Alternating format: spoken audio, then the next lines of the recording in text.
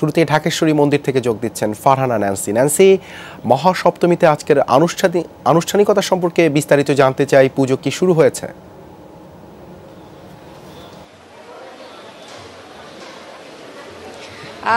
দেবাশিস, পুজো তো শুরু হয়েছে একেবারে সকাল থেকেই, সাড়ে আটটা থেকে শুরু হয়ে গেছে বলা যায় পূজার আয়োজন।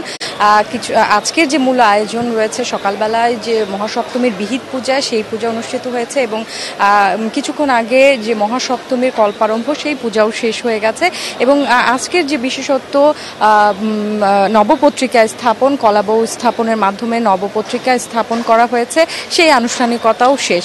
আর বলতে চাই যে কিছুক্ষণ পরে সাড়ে দশটার নাগাদ বলা হয়েছে এখান থেকে যে অঞ্জলির যে আয়োজন রয়েছে, ভক্তরা অঞ্জলি দিতে পারবেন দেবী দুর্গাকে।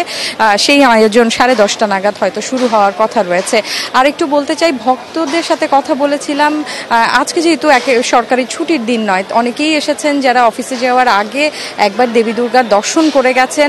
এমন অনেক ভক্তর সাথে কথা হয়েছে, তারা বলেছেন যে পূজাটা এবার গতবারের থেকে ভালোভাবে উদযাপন করার সে আশা রাখছে এবং তারা আশা করছে যে এবার যেমন সংক্রমণ কমতির দিকে রয়েছে, একেবারে যেন করোনা চলে যায়, সেই কামনা তারা সবাই করছে দেবী দুর্গার কাছে। এবং অনেকেই যারা কম বয়সী রয়েছে, শিশুরা রয়েছে, তারা এবার পূজাটা উদযাপন করার আশা রাখছে খুব ভালোভাবে, যেহেতু গতবার উদযাপন করতে পারিনি। সেক্ষেত্রে এবার পূজা উদযাপনটা তারা ভালোভাবে করবে বলে আশা প্রকাশ করেছে। আর আরেকটু জানিয়ে রাখি যে এখানে সারাদিনই কিন্তু এই ভক্তরা আসবে, দেবী দুর্গাকে দর্শন করবে, আশীর্বাদ নেবে, সেই আশা করছে।